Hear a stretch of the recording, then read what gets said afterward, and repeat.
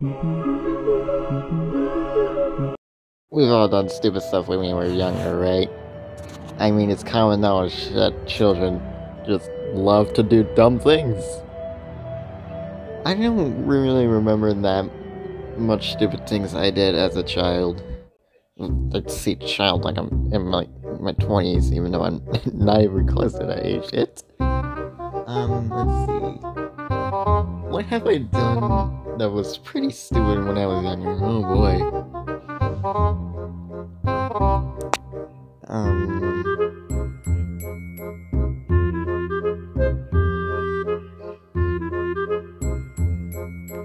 Oh wow, I can't really think of anything.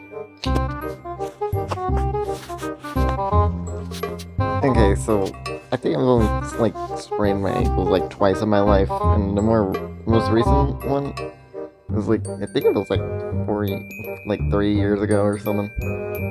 I think it was four to three years. I don't know. I was running around in my backyard.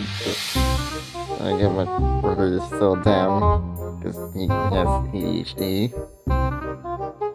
Mom comes out, he's like, "Hey, get go out front. We're getting ready to go bowling."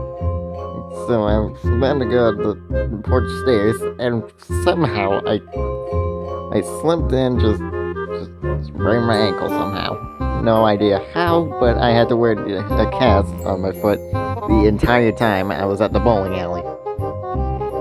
It was pretty stupid.